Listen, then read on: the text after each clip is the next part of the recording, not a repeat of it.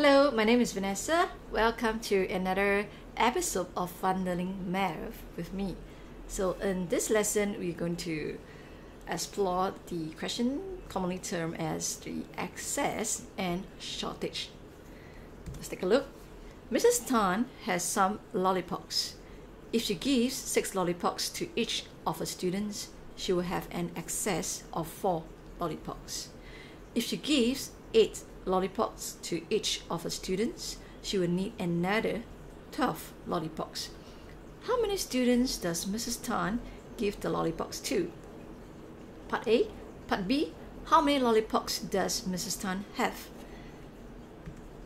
So, if and if, these are basically scenarios. Alright, so they never happen.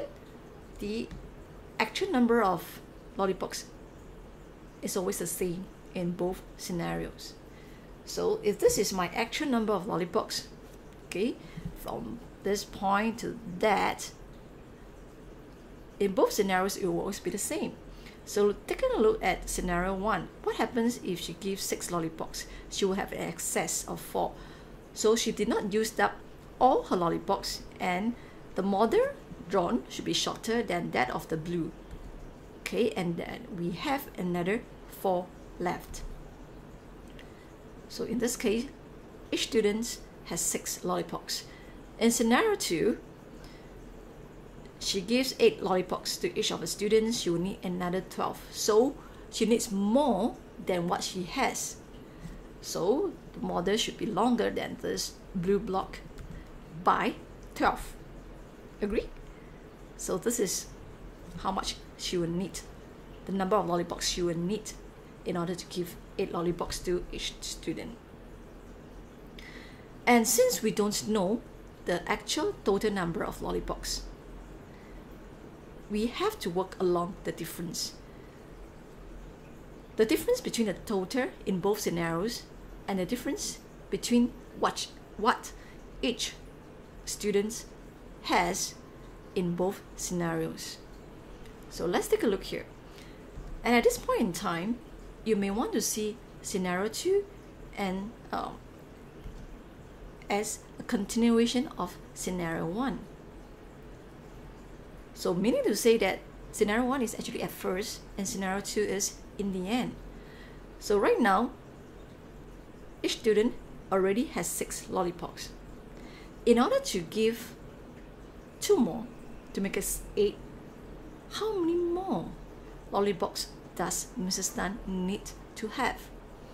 Okay, so as a continuation, remember that. So, whatever the excess of 4, she must use up.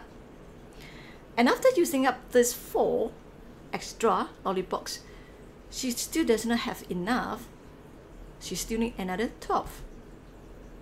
So in total, she needs 4 plus 12, which is 16. She needs 16 more lollipops.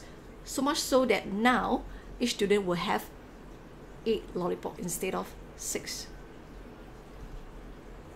Okay, so once you understood this part, okay, 16, a total of 16 lollipops is needed.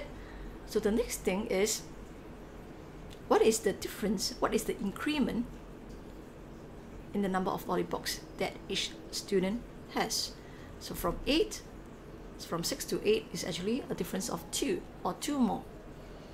Okay, so I have 16 lollipops and each stu student now have 2 more, so I have to give 2, 2, 2, 2. So how many students can I give to? So that I will use up all 16. Number sen sentence, 16 divided by 2 and they give us 8, 8 students. So in order to answer part B, you can choose either scenarios. You can use scenario 1 or scenario 2. Let's take a look. When we use scenario 1, we can use scenario 2 to check. So using scenario 1, 6 lollipops each for um, to each student. So total I will need 8 times 6 which is 48. But we know that in terms of the actual number of lollipops, there is an extra excess of 4 lollipops. So I have to add back the 4 which is 52. So Mrs. Tan has 52 lollipops. Now using scenario 2 to check our answer. So if she were to give 8 lollipops, so 8 times 8 give me 64. But she does not have enough, so you take away the 12, which is 52. So 52 is the actual number of lollipops. As simple as that, a four-step solution. So that's it. you solve the question and provide and the fact that you can actually check your work using scenario two means to say that if students understand this concept, you can score full marks. Alright, I hope you enjoyed this video. Give me a like if it's beneficial, a dislike if this is not good. And I hope to see you again. And if you um, hope to see more of such videos, subscribe to my channel. And that's it. Have a nice day and love math. okay, see you again. Goodbye.